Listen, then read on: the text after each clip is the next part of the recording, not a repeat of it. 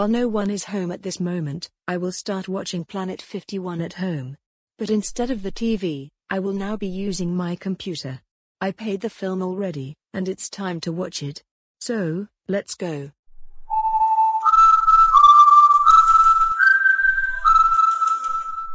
Amazing.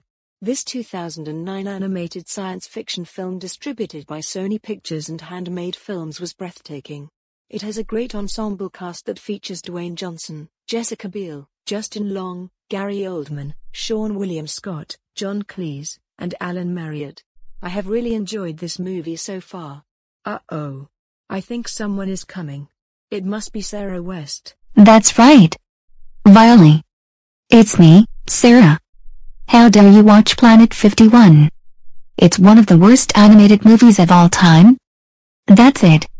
I'm telling your mother on you. Mrs. Anderson. Come over here right now. Violy just watched a bad movie on her computer. What movie did she just watch, Sarah West? Well, Mrs. Anderson. Violy just watched Planet 51. Violy. How dare you watch Planet 51? You know that it is one of the worst animated movies of all time. In fact, this film has a 23% rating on Rotten Tomatoes. And also, our family really hates that movie so much. But Mom and Sarah West. This was one of my favorite animated movies. It has to be one of my favorites from the late 2000s. I really enjoyed watching that on my computer instead of the TV. We don't care.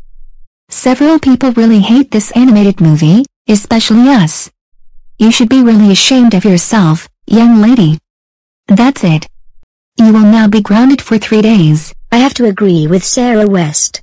This means no TV, no video games, no computer, no restaurants, no rated R and NC-17 movies, no junk food, no activities that you like, no amusement parks, no water parks, no music, no vacations, no hanging out with your friends, no concerts, no sports, no family outings, and no other things.